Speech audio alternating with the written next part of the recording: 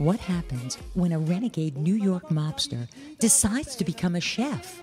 You get the Wise Guy Kitchen, a four time Telly Award winner. It's Dinner with the Boys. The Wise Guy Kitchen Show is a hilarious Broadway style show with comedy, music, cooking, and the mob. The only show in the country with live cooking. So come for the food and stay for the show. Forget about it. Hold on to your meatballs.